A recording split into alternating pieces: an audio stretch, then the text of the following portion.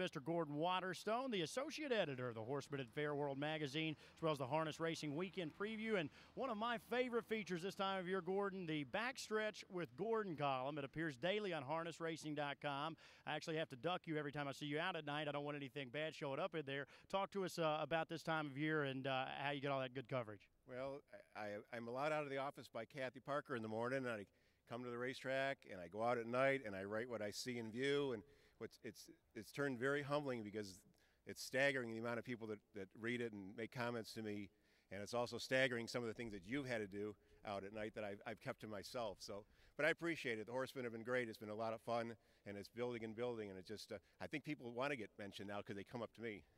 Yeah, well, it's a great column. I enjoy it every year, and uh, you know, thanks for cleaning things up a bit there for us. But uh, talk to us now. You talked to a lot of the connections in here in this Tattersalls pace coming up. Uh, a great article in the Harness Racing Weekend Preview. You talked to the drivers, connections uh, about everything from the 12 horse field to their strategy. What is your feel going into this when a uh, highly anticipated event coming up here? Well, I went searching in drivers because it's a 12 horse field, as you said. We've got the North America Cup and winner and the Meadowlands Pace winner in the second tier, and I just wanted to find out what's going to happen on the on the track, so maybe there's no surprises. And it turned into a really good story. Sometimes I don't always know that, but when I finished it and reread it, I said, "Wow, this is pretty good. I could play everybody else off." And and, and John Campbell told me what he always says is, is the post position is just the starting spot. Yannick said, as you, I heard you talk to him earlier, that he's going to be glued to John's helmet.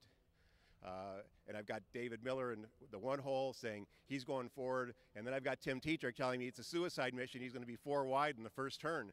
So that's, that's all we got. And then Dave Palone I talked to this morning. I know he's going forward too. So it should be really interesting.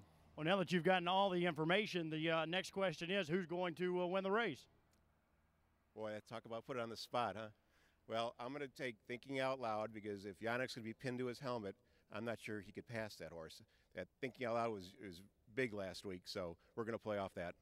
Well, the, no doubt about that. A uh, fine selection. 25 flat. He's going to be a very hard to pass if he comes home uh, anywhere near that today. Sam, I'm going with Bolt the Duer once again in here. He came up sick last week. Connections seem to think they've got him back in line. No question he will be rattling off the gate as well. I think if he gets covered up and shakes loose late, he could uh, score an upset here. Uh, on the board right now, just at three to one. Hopefully, that will continue to float up as we near post time. It should be a good one here in the Tattersalls. No question.